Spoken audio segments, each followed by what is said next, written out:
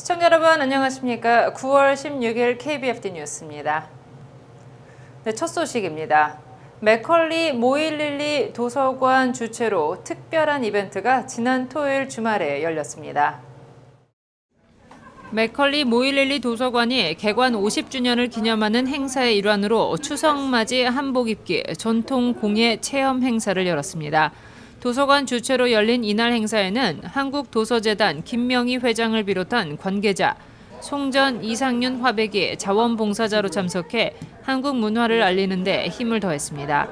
힐러리 장 맥컬리 모일리일리 도서관 branch 매니저는 행사장을 찾아 한국의 전통 의상인 한복을 직접 입어보는 시간을 가졌습니다. 힐러리 장 branch 매니저는 한복을 입어본 것은 처음이라며 아름다운 한복을 입는 동안 설레었다고 소감을 밝혔습니다.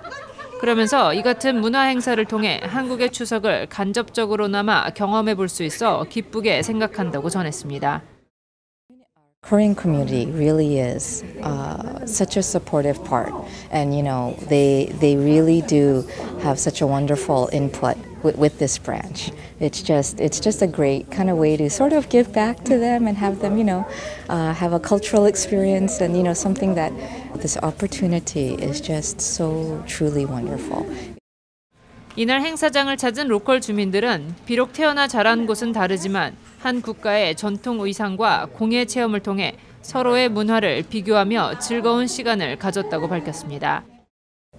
Uh, um, I'm actually really happy that I came here because I've never seen these before, and I think it looks really pretty, and I'm. It's nice to learn a little bit more about other cultures.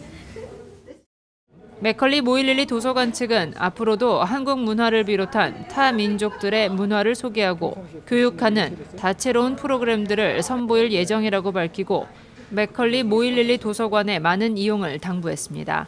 한편 한국도서재단은 한국어 신간 도서가 주정부 공공도서관 시스템에 새롭게 등록되었음을 밝히고 600여 권의 신간 도서가 지난 14일인 토요일부터 대출을 시작했다고 전했습니다.